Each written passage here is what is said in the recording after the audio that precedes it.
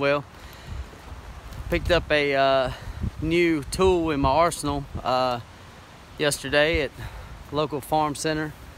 Been doing a lot of research on uh, compact tractors. I used to have a John Deere 3230. I absolutely loved it.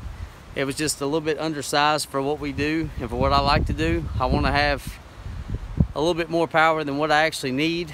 Um, so I got what was in my price point. I also got something that I feel like will be uh, pretty efficient for me. Um, so I looked at the, uh, we have a Rural King here close to us in North Carolina, and um, they don't, there's not many of them around, but the, um, the RK 55 is what I was looking at. It's a Rural King 55 horsepower tractor.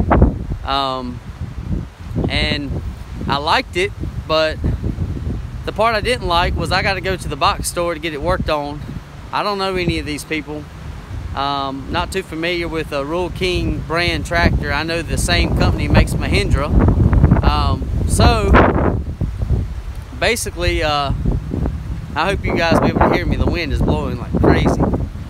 Basically, uh, I, I, started looking at the Kioti tractors. Um, they're all made across seas, no matter which one you get, just about. Um, and if they're not, they got parts on them from across seas. So is made by Daedong and uh, RK is made by T&M.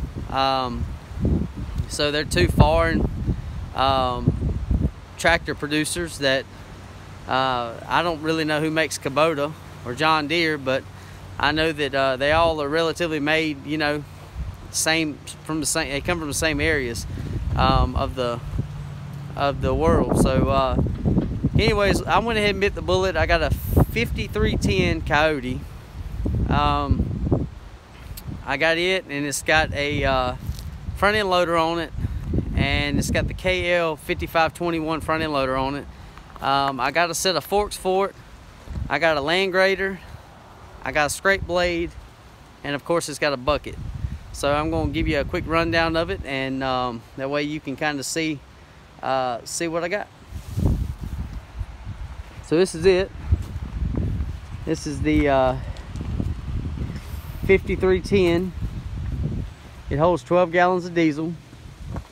Um, it's got your quick attach, just like a skid steer.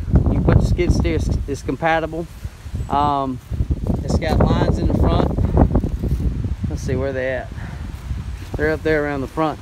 It's got, uh, I don't have the third function on this, which I, I wish I would have got, but I didn't get it, so it's all good. Um, I can add it, it's about a thousand bucks, but this tractor uh, is well built. I got the R4 tires for it, wider tires. Um, and you know, basically our application is we push, we push a lot of snow, um, we do driveway resurfacing. That's actually what I'm doing today. Um, I wanted to go with the cab. Cab's very nice. We'll get to that in a minute. Um, I got the, this is a dirt dog, 70, 72 inch uh, land grader, which is pretty neat. It's got two blades on it. It's got your rippers in the front that you can lower down to rip more out. It's great for resurfacing a driveway. Um, it's got uh, it's got more lights than it needs. I mean, it's got lights everywhere on the. It's got your front lights, those lights, those lights. I mean, it really lights up good at nighttime. Um, so it's a it's a pretty neat pretty neat tractor. Um, this tractor was uh, was definitely something I was very interested in years ago, but I wanted to kind of see they just kind of made it to our, our region uh, a few years ago. And I wanted to, you know, see reviews and hear about what people had to say. And there was a lot of good things to say about these tractors, so I went with it. It is hydrostatic. Um, it's got a low, medium, and a high gear. Um, I like hydrostatic because we do a lot of landscaping. Um, it's just, for me, it's easier, it's quicker. It's easier for my dad to get and work in it, you know, so that's why I chose to go with this one. It's a well-built tractor and uh, it's, it's very well built so I think my thumb was covering the thing a little bit um, but anyways yeah it's uh it's got a lifting capacity of, I think the loader's got a lifting capacity of somewhere around the high 2,000 to 3,000 pounds. That's pretty stout. That's It might move a pallet of rock for me, you know, raise it about a six inches to a foot off the ground to get me to a job, and that's all I'm worried about. Um, I know where to lift pallets of salt and just various things like that, so pretty nice. Let's go inside, take a look. All right, so we're inside. You got your PTO uh, right there. You got your uh, windshield wiper, your lights, your cab lights, and your, it actually has a heated back glass.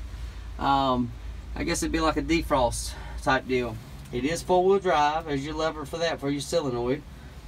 There's your low, medium, and high for your gears. Um, that's for your auxiliary stuff for your uh, for your cylinders in the front and rear. That's to lower and raise your lift arms. Um, it's a pretty basic tractor. It's not really too much. You got your horn here. You gotta have a horn. Um, ain't that cute? Sound like a little clown horn. Um, so far we've got, let's see. Care contracts directly with Walgreens for this plan. We've got 5.3 hours on it. So, I love this shifter. This shifter is uh, is actually good, feels good to your hand. Um, both doors do open up very easily. And it's very airtight, you know, it's a it's got your uh, auxiliary stereo, uh, your plug-in for your phone or whatever you want to use, off, and then it's also got your USB, and then auxiliary right there. You got your heat, heat, AC, all your blower fan controls, interior light, radio. So it's got quite a bit on it. Um, I really do like this tractor. Does not come standard with mirrors. They just added those for me. I've done business for years with YNW Farm Center and they, they're really great to work with. They really hooked me up this time. They put the aftermarket uh, mirrors on it. They also put that bumper guard on the front of it and that's normally not standard with it. Um, it does have cruise control right here so if you're riding, if you're bush hogging, if you get set with the speed, you can just uh, take off and, and set it where you want it. Um, this is pushing out 39 and a half horsepower to the PTO uh, when you're running it. So uh, that's got pretty good um, that's pretty good power for anything that I'm going to do, uh, bush hogging, anything like that. So, uh, and it's just like an old school tractor. You got your shifters here, and for your tractor tires, get your parking brake. Um, it's also got a regen. So basically, if you run this machine 540 or higher, um, so pretty much which is right in between two and 3,000 RPMs, typically they say the regen will not uh, come on. But if you're running this machine below 540, when that regen light comes on the dash here, let's see where it is. Let's see where the regen light is. Okay, let's try it one more time. Alright, I don't see the regen light. Well, anyways, the light's supposed to pop up here somewhere on the dash. And when it does pop up, it gives you 15 minutes to regen the machine. So when it pops up, you put the tractor in neutral, put the parking brake on, and you hit the regen button and you leave it alone 15 minutes. It goes through a cycle where it regens. I guess it burns off all the crap. I don't know really what it does. Um, and then it's ready to go. No, I don't like that, but that's just the way the EPA and the government's got us all regulated. So let's go around back here. Actually, I'm gonna fire it up and I'm gonna show you something really cool that I like. It's a very smooth running tractor. So basically, I got this land leveler because we do a lot of uh, we do a lot of gravel driveways whatever. I mean, we do a lot of stuff for people. It's various things. I figured it would be, you know, if someone's got an 800 foot driveway and they're really not in the market to buy a bunch of gravel, if they've got a pretty good base, we can take this attachment right here and we can actually resurface the driveway for them and uh, maybe hold them over a year, maybe two years. Depends on how much gravel they have down as far as when it comes to their base. Um, it pulls the gravel back up to the surface and, and, and gets it pretty much, uh, I guess uh, I would say fluffs it back up, but there's another term for that. So this is the attachment. You got your blade here, blade there, all your rippers. This one I really like. I used to struggle a lot when you back in to hook up to an attachment, you know, I used to play uh, musical tractors. I'd get back in and I'm like, darn, I can't line it up and all this stuff.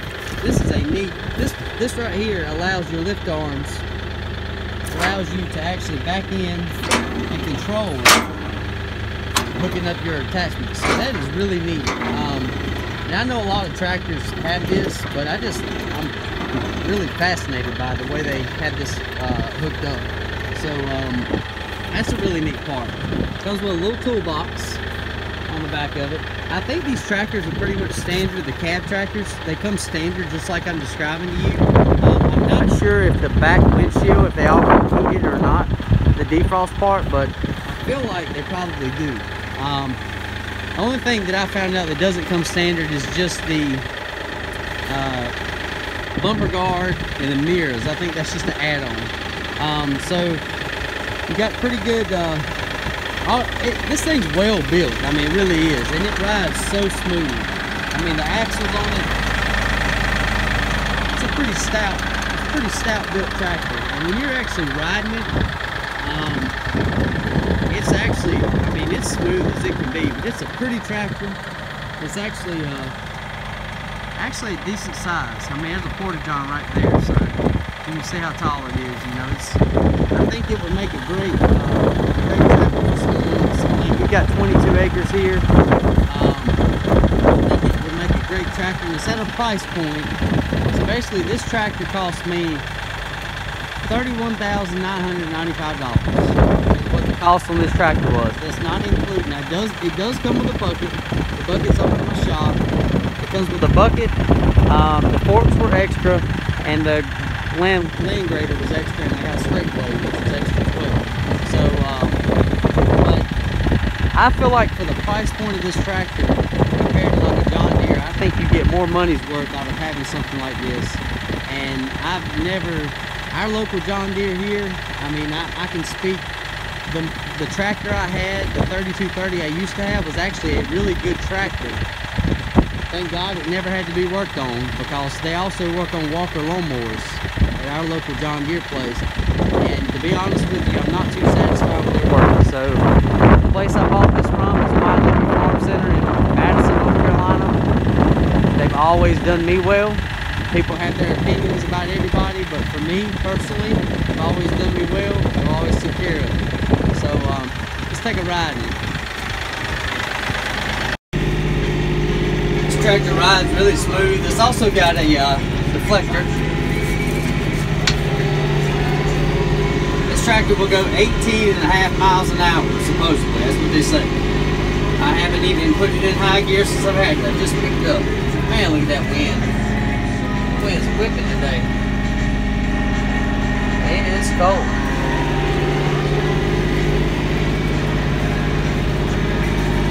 I'm going to show you how this uh, grader attachment works.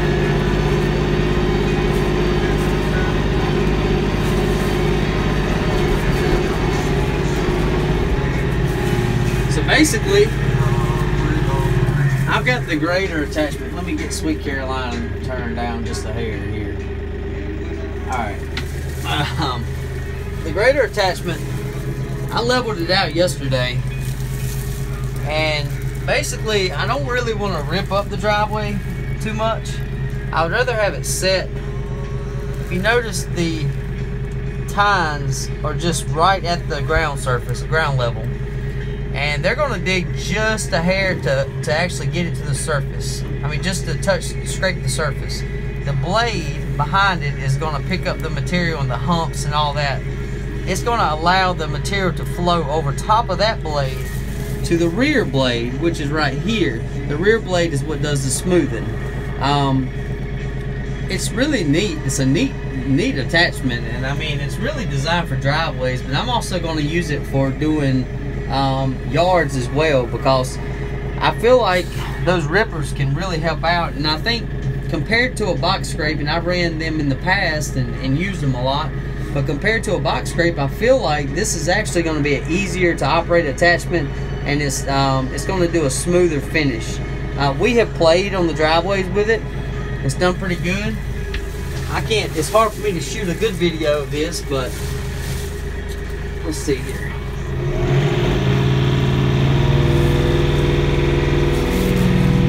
So I've got the attachment down. So let's ride. Let's go forward, not backwards.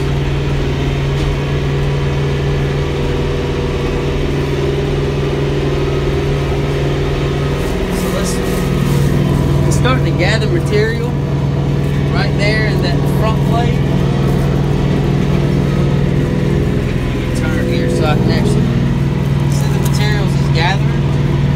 You can see how smooth it's getting it. I mean, this is really, this really can save somebody a ton of money instead of having to go get gravel. They actually can just smooth their driveway out with it. I mean, look at that. That's just one, that's me just starting right here. We haven't really done anything with this part of the driveway. And you see the difference, the lines right there. That's where I didn't go. That's where I went. I mean, that's just, that's amazing how it does that. And you see the material, let's get out and look.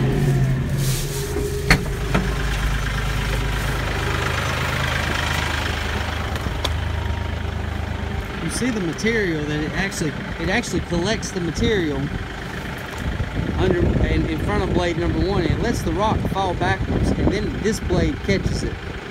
And once this blade catches it it just smooths it out. I mean don't get much smoother than that. You can tell a huge difference there. So I hope this helps you guys if you're ever in the market for a compact tractor. Um, I got more videos to come. I've got all types of equipment. I want to do reviews on and videos and I'll do just like my Cat 299 I've got reviews. I've got about a thousand hours on it now. Um, I want to give a review on it. I run into a couple of things uh, that it's sort of aggravating but it's it's not it's not anybody's fault. It's just running into that. So um, but anyways uh, and also I'm building a home so it's been a little complicated.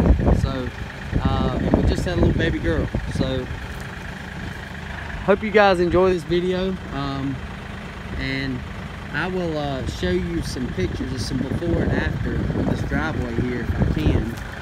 Um, it's just me today. My dad normally kind of helps me out and I want to get some video of uh, of actually doing some driveways with this uh, piece of equipment here.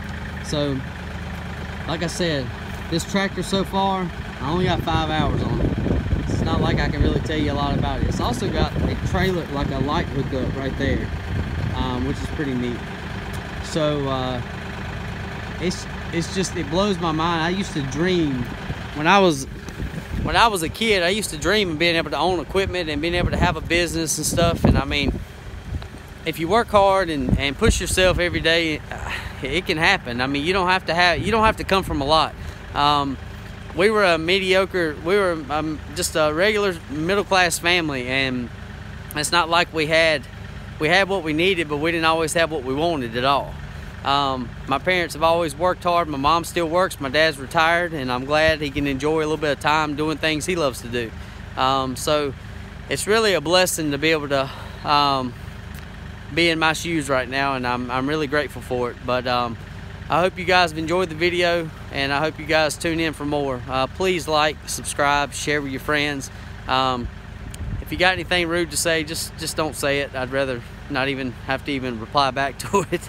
But um, I'm just help making these videos to help other guys out that was in my situation that's maybe on the on the brinks of buying a compact tractor but really don't know which way to go. So um, anyways uh, by the way they did say that the 5310 tractor is their best selling tractor and this is an actual new model they just came out with in 20 i think it was 2018 they introduced this newer model. Um, i don't know what the features were that were different but i can check into all that but anywho that's pretty much it. Hope you guys have a blessed day. Talk to you soon